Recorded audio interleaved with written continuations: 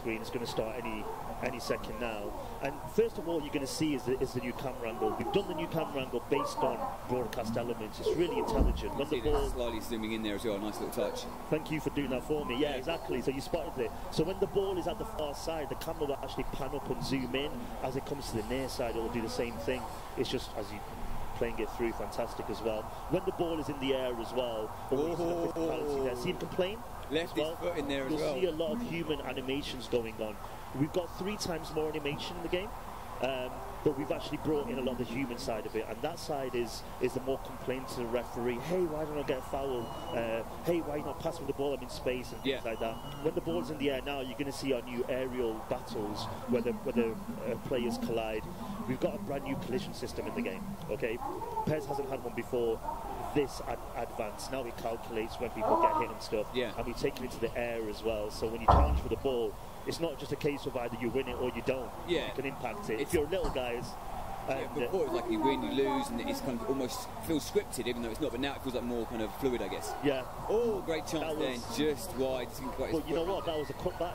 That was naughty. Yeah. Not like these. Them sweaty goals. goals, you got to be careful with them Sweaty sweaty, goals. goals. You got to be That's careful. call it. It is, they're Like- sweaty. But obviously, as you said, it's been it's been 20 years now since uh, Pro Evo. I still remember the the Ravanelli and Paul Ince Oh, version. ISS 98. Yeah, I've been playing since then. Obviously, you know, Master League was, has always been one of my Oh, favourite good. modes, and I imagine that's a lot more in this version. This Yeah, actually, yeah, because it's our um, anniversary year as well. What we've what we've really wanted to do is is actually focus on making sure that we're listening to our fans, and they've been asking for us a new Master League for a while Yeah. now. So what we've done this year is totally revamped it. We totally changed it. Uh, we've got brand new menus, and the menu pictures feed in from what's happening in your season. If you score a great Oh, goal, nice. if you win a derby, and things like that.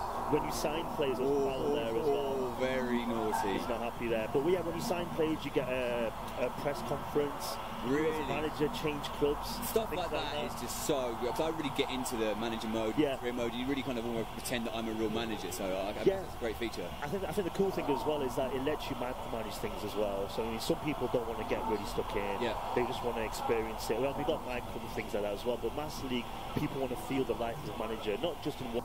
One club through their career, so you can go to different regions. Let's just say you're in South America, you win a league there, you win the Libertadores. Yep. You can then go to Europe and win Champions. Wow. You can then go and manage your national team, be the, be the England manager. Yeah. There's just this, all these options and all these options and careers that you can actually live through.